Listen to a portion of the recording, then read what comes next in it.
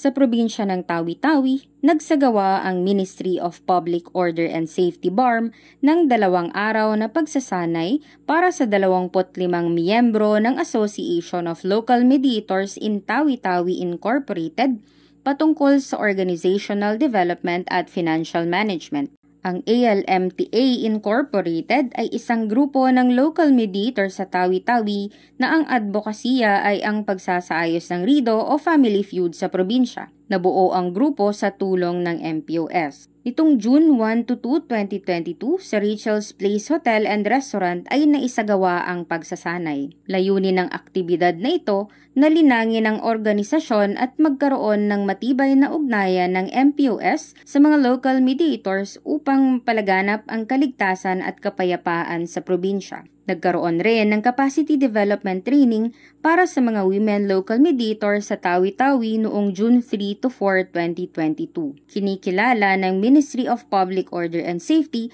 ang kontribusyon ng kababaihan na makamit ang kapayapaan sa kanilang komunidad.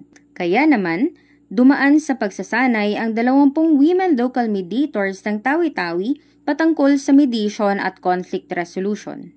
Ang aktibidad na ito ay naisagawa sa pangunguna ng Alternative Dispute Resolution Division ng Ministry of Public Order and Safety BARM.